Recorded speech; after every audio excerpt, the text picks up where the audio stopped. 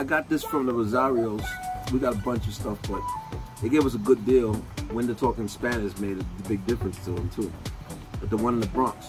But this particular one, I got bought two just to see what it was like. It's rolled as well. It's a full body. I hope you can see it. It's um pretty.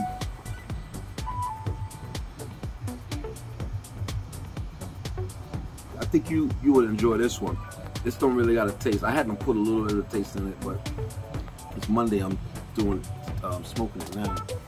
It's strong, man. It got a big kick. Uh, got a little buzz from it. Drink a little whiskey with it. This is chocolate whiskey. What's it called? Um, what's this one called? Anniversary special. Oh, it's, this one's called Anniversary Special from Rosario. So if you ever go up there, um, either one, I, I'm assuming that they do it at the other spot. But at least try one and see what you like. Tell me what you think. I know you don't like the sweet stuff. This one is not the sweet one. It's a full body, so it's pretty strong. I'm not I'm not used to these these ones like this. I want you to check it out. All right. All right. Peace, brother.